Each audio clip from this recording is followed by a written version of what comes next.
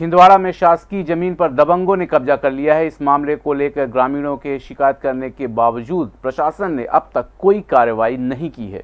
परासिया के हर्रई ग्राम पंचायत में लगभग पाँच एकड़ शासकीय भूमि है। शासकीय भूमि पर दबंग लोगों द्वारा कब्जा कर अवैध रूप से मकान का निर्माण किया जा रहा है। ग्राम पंचायत के सचिव द्वारा अवैध कब्जाधारियों के खिलाफ शासन को शिकायत की गई, लेकिन अब तक कोई कार्रवाई नहीं की गई है।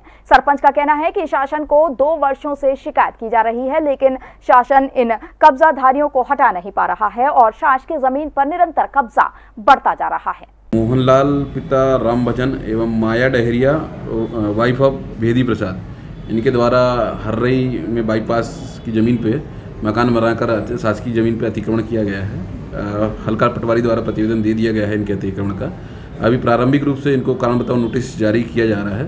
उसके बाद इन, इनसे जवाब लेके धारा दो सौ अड़तालीस के तहत में विधि विधि अनुसार कार्रवाई की जाएगी। और जो अन्य जो भी मकान बन रहे हैं उनका भी प्रतिवेदन बनाने के लिए मैं पटवारी को मौके पे भेज दिया है जो निर्माणाधीन मकान बन रहे होंगे उन पे शासकीय भूमि पे उन पर अस्थायी स्थगन आदेश जारी करके आगे भी धारा 248 के तहत में कार्रवाई की जाएगी।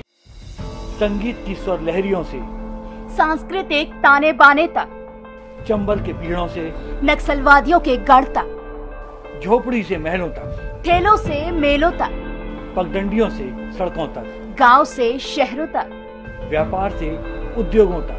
राजनीति से कूटनीति तक। दखन न्यूज़। आपके हक।